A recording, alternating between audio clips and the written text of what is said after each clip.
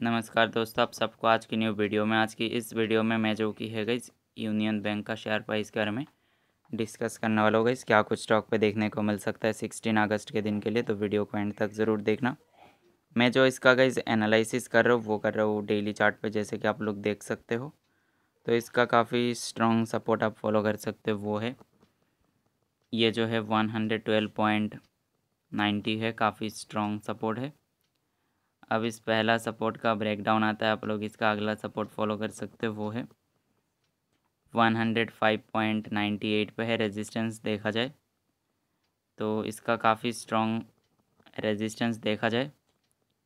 तो गईस यहाँ पे ये जो है one hundred twenty five point zero three जो है, काफ़ी स्ट्रॉन्ग रेजिस्टेंस है। आज से स्टॉक गईज आगे और भी बहुत बड़ा गिरावट दिखा सकता है तो सारे लेवल्स जो है आप लोग ये सारे लेवल्स पे फॉलो कर सकते हो।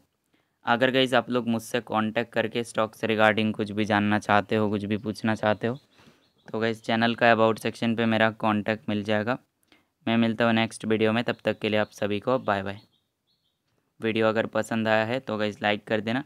चैनल पर अगर पहली बार आ रहे हो तो सब्सक्राइब भी ज़रूर से कर लेना।